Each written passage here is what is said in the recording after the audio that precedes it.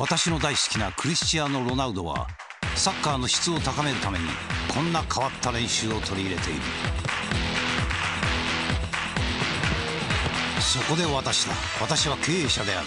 経営の質を高めるために何をしたらいいんだろう。経営の質を高める。知的フィールド。アペオス。